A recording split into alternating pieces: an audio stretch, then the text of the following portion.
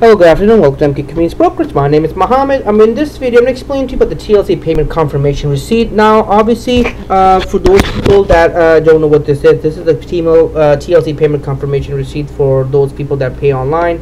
This confirmation receipt, uh, uh, always keep it handy just in case if something doesn't go well. So your license number should be over here, uh, your transaction date, your transaction type, order number, convenience fee, total amount charged. This is the total amount charged. Obviously, total renewal fee, renewal fee, and obviously they'll tell you that this is receipts for your records. Obviously, keep in mind. Don't lose it. This is going to be helping you out in the future. If th this fees, some of the renewal fees are non-refundable, so keep that in mind.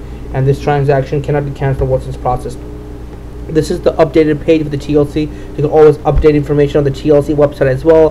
This is how the printout should look like once you update information for your license, your license type, your license number, cell phone, travel phone number, email address.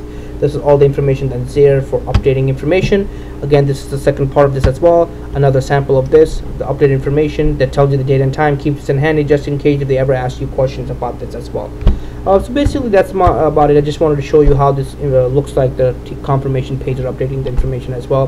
Thank you again for watching this video. I hope you guys enjoyed it. If you have any other questions, comment, concerns, please comment, like, subscribe to my video. I'll be having other more other education informational videos coming up.